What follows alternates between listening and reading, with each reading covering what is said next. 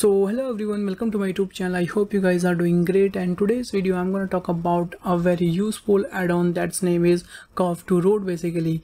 And that is very easy and cool add-on. You can create dynamic roads with the help of this add-on. And uh, sorry to say but this is not add-on. This is like whole geometry node setup which is like totally customizable. Here you can see you can just customize each and everything from this add-on. I will just show you.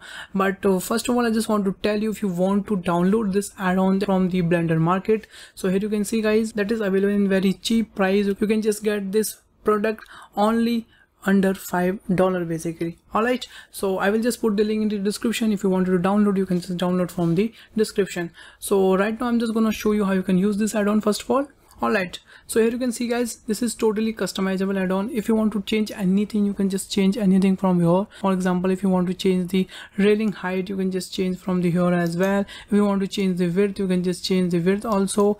And if you want to increase the uh, count of these lamps you can just increase the uh, count of lamp as well. And if you wanted to increase the uh, rock distance you can just create increase from here as well if you want to just scale these rocks you can just scale easily. Basically that is totally customizable. You can just do whatever you want to do.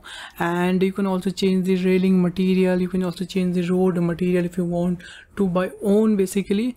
Alright so now i'm just to show you how you can create the road using this geometry node setup basically. So for that what i'm gonna do i'm just gonna um, out from my camera view first of all. And right now here you can see we have that uh, beautiful road here.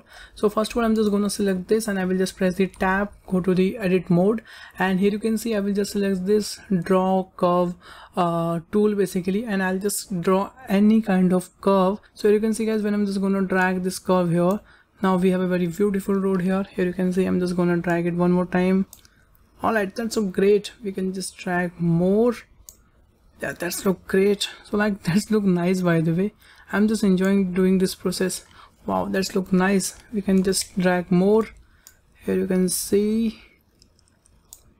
All right so you can see that's look very nice by the way. So you can just create any kind of uh, road shape using this curve basically alright and you will get totally customizable roads. Alright guys that's very easy and cool add-on so I thought I should share with you guys. Available in very cheap price as well so you can also also afford this add-on basically. And that is totally customizable so you can just uh, purchase once and after that you can create any kind of road. So all right guys thanks for watching this video guys. If you learned something in this video please hit the like button the share button and subscribe my channel. Also if you have any queries if suggestion be let me know in the comment box. I'll definitely reply comment. So bye bye take care and stay home guys